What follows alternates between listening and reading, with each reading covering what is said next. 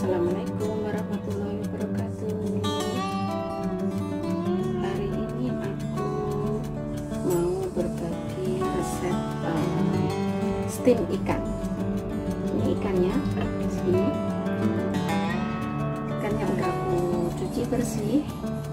Aku cuci bersih guys ya. Terus ini udah aku udah aku lap lap pakai ini. Kalau kering